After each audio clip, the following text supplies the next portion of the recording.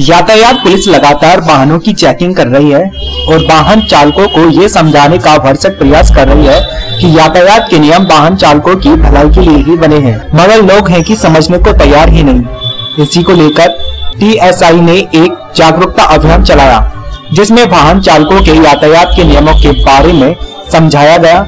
साथ ही उन बताए गए नियमों के पर्चे भी बांटे गए। साथ ही हेलमेट और सीट बेल्ट की उपयुक्तता के बारे में भी बताया गया। यातायात पुलिस ने कहा कि लोगों को चाहिए कि वो नियम का पालन करें जिससे वो सुरक्षित रहें। सुरक्षित रहना इसलिए भी आवश्यक है क्योंकि उनका घर पर कोई इंतज़ार कर रहा है। सर आज आपने क्या कार्यक्रम किया है? आज हमारा विगत वर्षों की भांति जो यातायात का प्रोग्राम है वो हमने आयोजित किया गया जो हमारे उच्च अधिकारी एस पी सिटी महोदय, एस पी ट्रैफ़िक महोदय हैं। उनके द्वारा सी साहब हैं। चार चौराहों पे, जो प्रमुख चौराहे हैं, चार, लाकड़ी का है, हनुमान मूर्ति, इंपीरियल और हाईवे पे टोल प्लाजा है। उसमें हमने जो है कार्यक्रम आयोजित किया है यातायात में लोगों को जागरूक करने के लिए कि सीट बेल्ट और हेलमेट। ये जो सीट बेल्ट और हेलमेट है, इसमें प्रत्येक बार को अब यहाँ मुरादाबाद में चेकिंग होगी।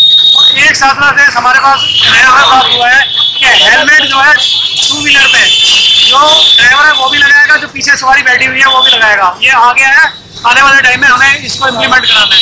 तो मैं जो शहर के हमारे अपने लोग हैं, उनसे ये कहना चाहूँगा कि सीट बेल्ट और हेलमेट इन दोनों को अपनी आदत में डाल लें, जिससे आपका जीवन सुरक्षित हो सके।